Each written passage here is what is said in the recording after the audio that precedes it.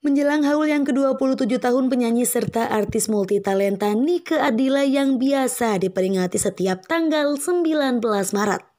Sejumlah fans dari berbagai daerah sudah mulai melakukan bersih-bersih di area makam artis asal Ciamis, Jawa Barat tersebut pada Rabu 9 Maret 2022. Di tempat peristirahatan almarhumah Nike Adila di TPU Cidudu, Desa Imbanagara, Kecamatan Ciamis, Kabupaten Ciamis, terlihat beberapa fans dan warga setempat membersihkan area makam Nike Ardila. Mereka terlihat penuh semangat membersihkan rumput dan melakukan cat ulang pagar yang ada di sekitar makam Nike Ardila.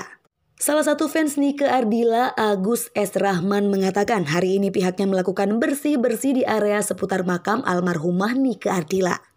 Agus yang merupakan warga kota Banjar ini dibantu oleh dua orang fans Nike Adila asal Cilacap juga Lampung. Mereka tidak ada paksaan untuk membersihkan makam dari penyanyi dan artis multitalenta ini. Semuanya terketuk panggilan hati saja sehingga mereka tergerak untuk bersih-bersih di area makam almarhumah.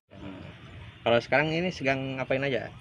Yang proses mau pengecatan di seputar pagar area makam almarhumah juga di ya. Bersih bersih ya? Iya oh, bersih.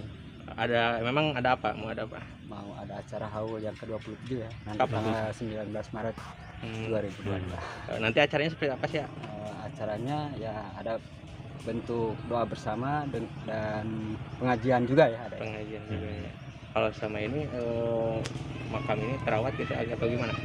Sejauh ini? Uh, selama ini aku sudah datang ke sini selama lima bulan yang lalu ya sejak pembersihan area alokasi bekas penginapan itu ada Depo dulu ya. Hmm. Gitu.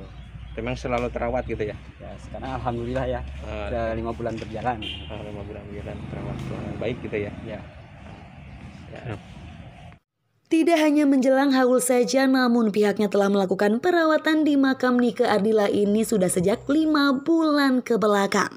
Bahkan area bekas penginapan kini sudah bersih. Sementara itu acara haul nanti akan ada pengajian dan doa bersama untuk almarhumah Nike Ardila. Akan tetapi pihaknya juga belum bisa memastikan apakah kegiatan tersebut bisa terlaksana atau tidak. Mengingat saat ini masih dalam kondisi pandemi COVID-19. Saat ini pihaknya masih menunggu perizinan dari pemerintah setempat. Ferry, Harapan Rakyat, Ciamis.